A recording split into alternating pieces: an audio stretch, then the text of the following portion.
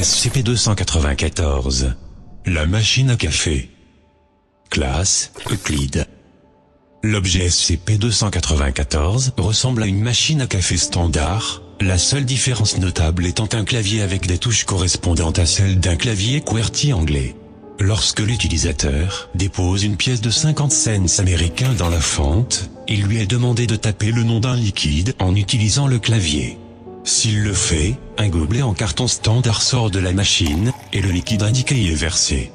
97 tests initiaux ont été réalisés, comprenant des demandes d'eau, de café, de bière, de soda et de liquides non consommables, tels que de l'acide sulfurique, du détachant, de l'essence, ainsi que des substances n'existant pas habituellement à l'état liquide, telles que l'azote, le fer, et le verre, et chacun fut un succès.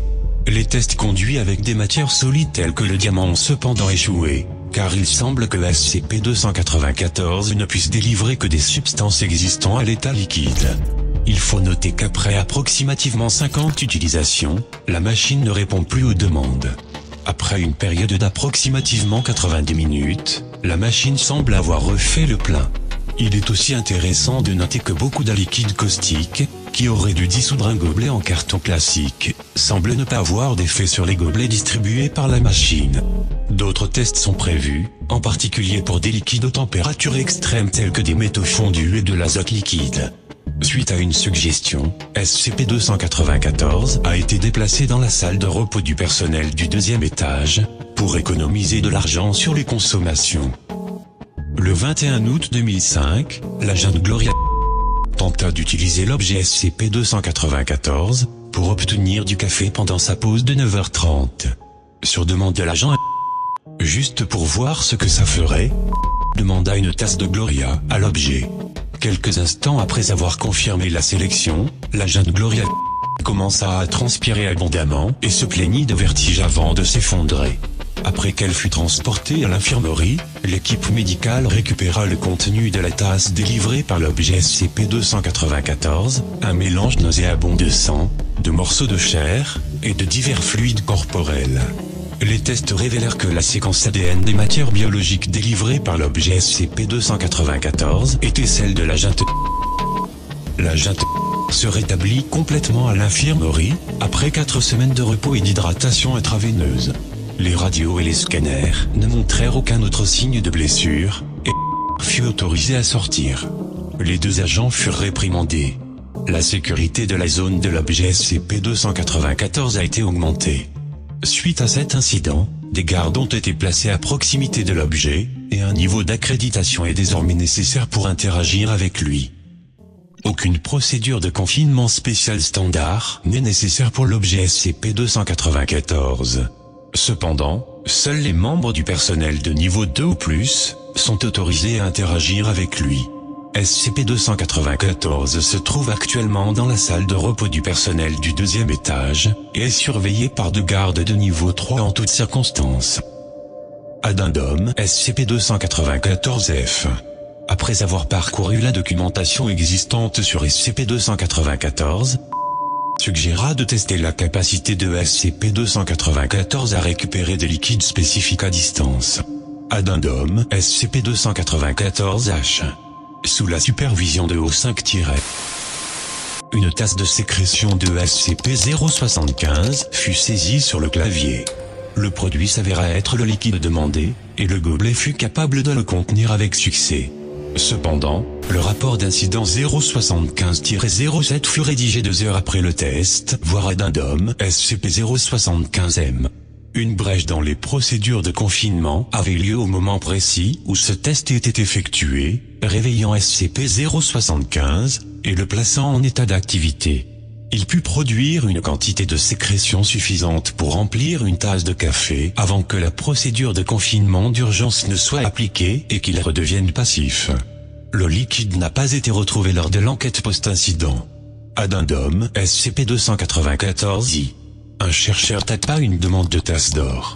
La machine produisit immédiatement une tasse d'or fondue. Le chercheur tapa des requêtes concernant d'autres matériaux précieux similaires avec le même résultat. Addendum SCP-294-J. À une distance de sécurité, un chercheur tapa une demande de tasse d'antio. La machine ronronna brièvement, puis les mots de portée s'affichèrent sur l'écran. Il a été théorisé que SCP-294 a un champ d'action limité, et ne peut pas atteindre des univers parallèles ou des dimensions alternatives. Addendum SCP-294K. Un chercheur tapa une demande de tasse de diamant. La machine ronronna de nouveau brièvement, puis les mots hors de portée s'affichèrent sur l'écran. Il s'agit du résultat que la machine donne pour toutes les substances solides. Un diamant étant un cristal solide constitué de carbone, il semble que la machine refuse de produire du carbone liquide car il ne s'agit pas de diamant. Lorsqu'une tasse de carbone fut tapée sur le clavier, la machine produisit immédiatement une tasse de carbone liquide. SCP-294 semble être immunisé contre les effets du liquide produit. Addendum SCP-294M Les tests sur le rayon d'action de SCP-294 ont débuté. Une substance unique a été créée à partir de javel de la marque de cola de la marque de poudre de Meteorix et de garam masala. Le fluide a été créé et placé dans un conteneur scellé à 25 mètres de SCP-294. Lorsque la demande fut effectuée, le fluide fut distribué. Une quantité égale de la substance avait disparu du conteneur. Addendum SCP-294 01 Le chercheur sous la surveillance d'un membre du personnel de niveau 4, tapa une demande concernant la meilleure boisson qu'il ait jamais bu et reçut un fluide ressemblant à du cola. Le chercheur l'identifia comme un cocktail qu'il se souvenait avoir bu dans un bar après avoir eu son diplôme, et dont il était à l'époque convaincu qu'il s'agissait de la meilleure des boissons. Il est important de noter que ne savait pas quels étaient les ingrédients de ce cocktail, en dehors du rhum et du cola. D'autres tests sont programmés pour vérifier comment SCP-294 recueille ce genre d'informations. Addendum SCP-294-01A Suite au test précédent, l'agent demanda lui aussi, sous les mêmes conditions, la meilleure boisson qu'il ait jamais bu. SCP-294 produisit un fluide sombre recouvert de mousse blanche, qui s'avéra plus tard être une bière viennalagée classique. Le gobelet comportait une image imprimée en couleur, représentant cinq hommes et deux femmes, en train de boire de la bière sur une plage. Était l'un d'entre eux. Dans son rapport, l'agent nota que la meilleure boisson qu'il ait jamais bu était effectivement une bière viennalagée, sur une plage, avec ses amis. Il est désormais établi que SCP-294 a la capacité de rassembler des informations venant directement des souvenirs d'une personne, pour tenter de répondre aux demandes. Addendum SCP-294 Q-01 Un sujet tapa la boisson parfaite. La machine produisit un gobelet contenant un liquide inodore couleur lavande. Après avoir bu le liquide, le sujet sembla en état de choc. Le sujet se suicida un peu plus tard, laissant une note disant « Je suis désolé, mais tout est si décevant désormais. Faire une requête similaire est donc fortement déconseillé. Aucun des composants de cette boisson n'a pu être identifié à ce jour. Addendum SCP-294-T-01 Un sujet tapa quelque chose que Cassie aimerait. La machine ronronna pendant environ 3 secondes, avant de produire un gobelet vide. L'image d'un verre à soda rempli d'une substance brune recouverte de crème blanche se trouvait imprimée sur le côté du gobelet. Lorsqu'il fut mis en contact avec SCP-085, celle-ci l'identifia comme un milkshake chocolat banane et le qualifia de délicieux. Addendum SCP-294-W Un chercheur tapa une demande de tasse de musique. SCP-294 produisit un fluide clair et étincelant, au goût vaguement alcoolisé.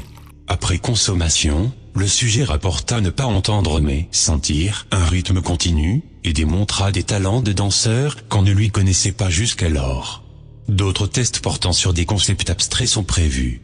Addendum SCP-294-AB Au cours d'une brèche de sécurité massive, l'agent tapa une demande de tasse de connaissances médicales pertinentes, tandis qu'il était réfugié dans la salle de repos du deuxième étage.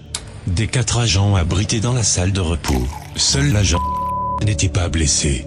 Après quelques instants, SCP-294 produisit un gobelet rempli de liquide vert clair, que l'agent consomma immédiatement, avant de se mettre à soigner les blessures des autres agents de manière très efficace, et montrant un long entraînement.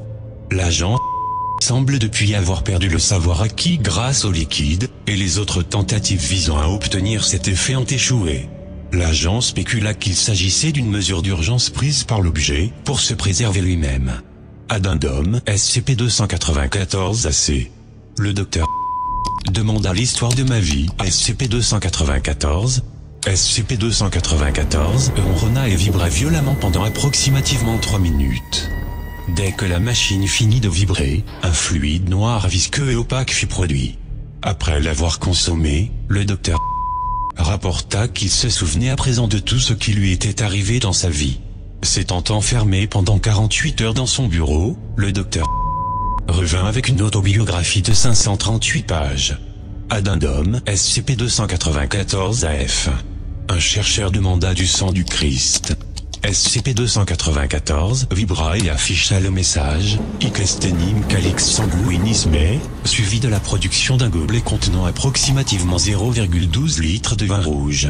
Addendum SCP-294 AG.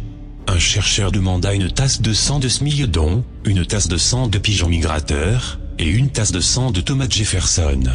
Il reçut trois messages hors de portée en réponse. Addendum SCP-294-AH.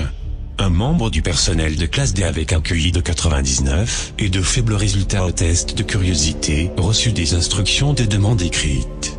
Le membre du personnel de classe D émit une demande de sang de Canis lupus et reçut une tasse de liquide identifié comme étant bel et bien du sang de loup.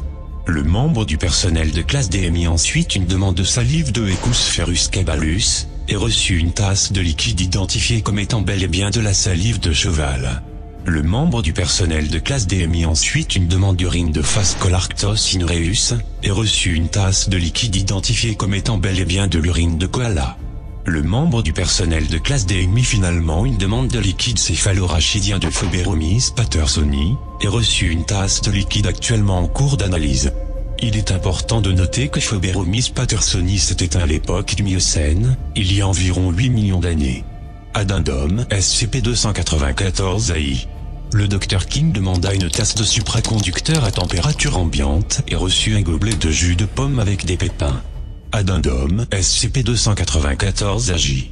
Le Dr Menku demanda une tasse de leucémie de D151 1839 et reçut une tasse de fluide. Le fluide fut observé au microscope et s'avéra contenir des cellules immunitaires correspondant génétiquement à D151 1839. Une nouvelle requête reçue pour réponse hors de portée. D151 1839 s'avéra dépourvu de cellules immunitaires.